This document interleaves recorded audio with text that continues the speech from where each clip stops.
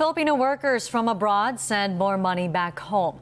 Central Bank data today showed personal remittances in August grew 3.3% year on year.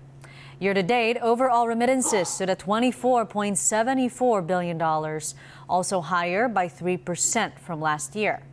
Cash remittances coursed through banks amounted to nearly $3 billion. The U.S. remained the major country source of remittances, followed by Singapore and Saudi Arabia.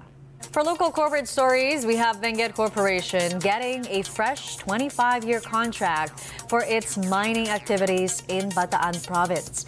The company secured government approval to review a deal that it hopes would lead to a declaration for a mining project title. Partnerships, there's a new one from Converge ICT and the Lopez Group. The internet fiber giant is powering with cutting edge connectivity first Philippine Industrial Parks hub in Batangas province. The agreement was signed last week at Rockwell Makati between First Philippine Holdings Chair and CEO Mr. Federico Lopez and Converge CEO Mr. Dennis Anthony Uy. Under the deal, Converge will leverage on FPIP's dark fiber infrastructure to provide seamless connectivity within the 600 hectare industrial park. The commercial deal is the first major project under the newly formed Converge Global Business Group. ABS-CBN Corporation, the parent firm of this news network, is part of the Lopez Group of companies. More policy measures are reportedly ahead in China for its economic recovery. Caixin Global cites sources say Beijing could raise an equivalent of $850 billion from a three-year special treasury bonds offer. A Caixin article says the funds would be used partly to help repay debt by local governments. As for the reported amount, Reuters says it could be equal to almost 5% of China's economic output. The possibility of a special treasury bonds offer follows a string of measures announced by China's foreign ministry over the weekend for more fiscal stimulus for the economy. Details of the size of those measures, however, remains scant.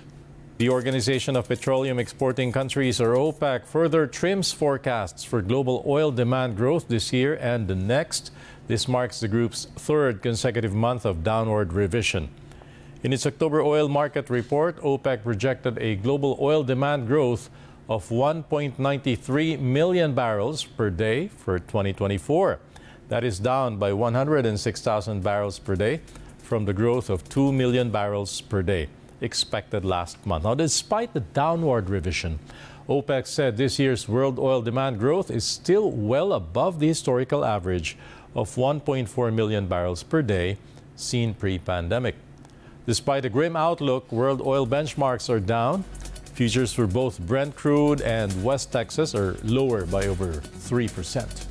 The Philippines and Malaysia agreed to strengthen collaboration on education. The agreement was made after President Ferdinand Marcos Jr. welcomed Dr. Ahmad Zahid bin Hamidi, Malaysia's Deputy Prime Minister and Minister for Rural and Regional Development in Malacanang.